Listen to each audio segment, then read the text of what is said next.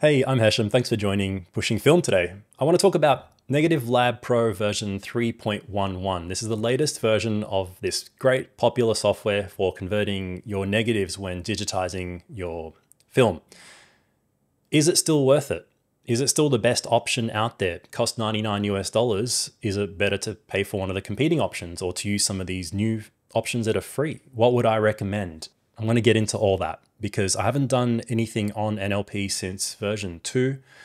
And there was a significant upgrade up to version 3, which added the roll analysis, overall better conversion, a better engine for color management. Uh, and this new 3.11 added other features like the another refinement to the color engine, the ability to still use the classic color engine, uh, support for processing positive files for your slide film or just working even with digital camera files uh, UI improvements, bug fixes. There were some new LUTs and profiles. You could save your own profiles. Uh, and yeah, some of these improvements are from version 3, like the lab glow, lab fade. Saturation control was better. The undo button was a huge one because that was a bit of a, an annoyance, not being able to undo something if you made a mistake. Now you can undo in increments and redo, which seems like a minor thing, but we're all used to that. So that was a great improvement. And now there's a lot of competing options or improvements to other pre-existing competing options like the FilmLab app came out. You have Smart Convert from Filmomat. There's the Grain to Pixel, some open source options like FilmVert and the Film Convert app. CineStill also launched their CS uh, presets, the conversion presets to coincide with their Spectracolor CS Lite Plus light. And I'm going to talk more about that later. But is it still worth getting NLP? Is it still the best option? Just to give you a TLDR, if you don't want to watch the whole video, basically the answer is if you're already using Lightroom or you're paying for Lightroom or willing to use and pay for Lightroom, I personally still think NLP is the best option overall in terms of results, usability, and value. However, if you're not already using Lightroom, would I recommend you run out and subscribe and pay for it just to use NLP?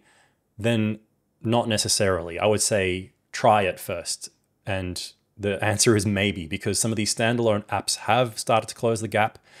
And some of the best ones out there, in my experience, that I've used included the Smart Convert app from Filmomat, but that costs about double the price of NLP. So, is it better to go pay for Lightroom on a monthly basis just to use NLP that's a hard question to answer because if you're not going to also get other use out of Lightroom, which is a very great software for managing your images and editing, you know, color adjustments, exporting your files, printing them, all that stuff, then yeah, it could still be worth paying monthly for Lightroom if you think you get a lot of use out of it. If you were planning on maybe getting it anyway, then you're kind of getting more than just NLP out of it. But if you were purely just buying it for NLP, then no, I would say try NLP first. I think there's still a free trial that Adobe gives you for Lightroom. NLP has a free trial. I'll put a link in the description for a free trial of NLP version 3 that gives you 24 free conversions. So you've got nothing to lose, give it a shot. And then go and try some of the competing options as well. Smart Convert has a free trial. It leaves a watermark on the images, but you can go try that, try Film Lab, try the free ones. You got nothing to lose there and see what you think. So that's the short answer. It really depends on your usage of Lightroom, whether it already exists and whether you'd be willing to pay for that if you're not already. In my experience, I really liked Smart Convert. I just liked the user interface, the way it has the color balancing control similar to what you would find on a Frontier or Noritsu lab scanner, where instead of a normal blue, orange, white balance, you have a cyan red control, you have a green magenta control, and then a blue yellow control with density adjustment. So very much like what you would have on a control panel for a Frontier. It's also designed to work with the Filmomat ecosystem of hardware, but you don't need to use that hardware. I tried it with images that I had already digitized or some that I was using from my trial of this new CS Lite, and it worked really well. It was giving me great conversions straight out of the software.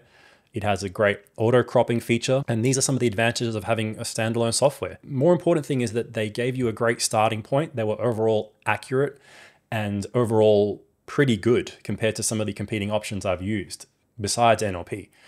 So I really like that software. There are things I would like to see improved. There were still some restrictions with it, uh, but overall, it was great to use. It was a good user experience, and I think that's really important.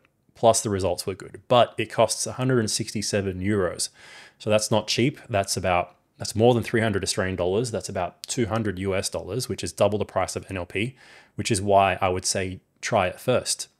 Same with the FilmLab app. I like some of the features in that, like the ability to choose a light source, the automatic features that you could have because it's standalone. The results to me weren't as good in the one of the older versions I've tried, but take that with a grain of salt because there has been some major updates that I haven't tried yet.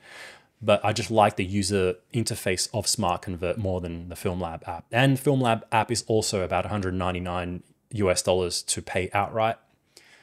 They do have a subscription model, but I usually don't like that if I can avoid it. So it's still double the price of NLP, which I still think, yeah, I would try them first before dumping $200 down on that. So overall, that's the answer to the pricing question. When you consider that some of the best competing options are double the price, NLP's 99 US dollars is still really good value if you're already paying for Lightroom anyway. If you're already going to be paying for that, uh, then it's pretty good value. I'm surprised it hasn't gone up over these last five years. And if you do decide to pay for it, I think it's a great investment if you're someone who shoots a fair bit of film compared to the cost of if you were getting a lab to do everything, you'd pay that money back in no time. So if you're someone who shoots enough film, you're switching over to doing more of a home process for some or all of your work, the price of NLP is well worth it, in my opinion. So what about some improvements that I would like to see in future versions? Nate hasn't had any major updates on NLP since this 3.11, and I think he was actually affected by the hurricanes late last year. So understandably, you know, there haven't been any major updates, and I read about this on the Facebook group.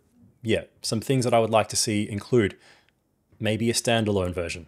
I think a lot of people would like that. So not only have the Lightroom plugin, but also create NLP standalone, and that would unlock some capability that I think couldn't be possible in just a Lightroom plugin.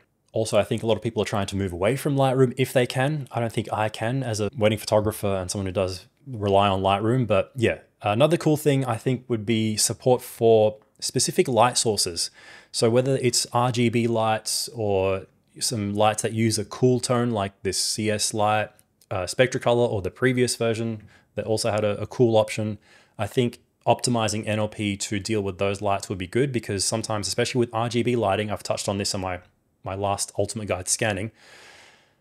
If you plug in an image made with RGB lighting, NLP isn't quite optimized to deal with it and it can give you a bit of an oversaturation or wacky color shifts and it would be really cool for a future update to have an option like a drop down box for choosing your type of light source, whether it's just like the film lab app, you can actually choose negative supply, 95 CRI, whatever.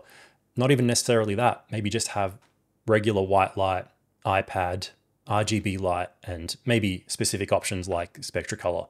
I think that could really unlock a lot of uh, usability improvements in the future. Other improvements I'd like to see include versions for other software like Capture One. And I think a lot of people also would like to see that. Again, I kind of need Lightroom and don't mind paying for it at the moment, but maybe I would like to try Capture One sometime down the future or get into using that. Or and I think a lot of people don't want to ever use Lightroom, so having one for Capture One would be good. Another improvement I'd like to see is just general usability improvements to the sliders, which sometimes feel a bit janky. Like if you're making a brightness adjustment, for example, and you try to drag it. I feel like it sometimes jumps and it could just be me, but um, yeah, just little improvements like that. Auto cropping, if it's possible with the Lightroom plugin. That's something that I liked about the Smart Convert app, for example, where it would just automatically crop your images, just save you some of that pre-production work like with NLP. I know that you don't necessarily need to crop with NLP because there is the border buffer ever since many versions ago, but I think just the option for the auto cropping would be cool to save you if you, you know you don't want the border, for example. Uh, in the same vein, dust removal, I'm not sure if that's possible, especially while the, the plugin is tied to Lightroom, but that is something that I know a lot of people would appreciate, not having to go in and remove dust yourself.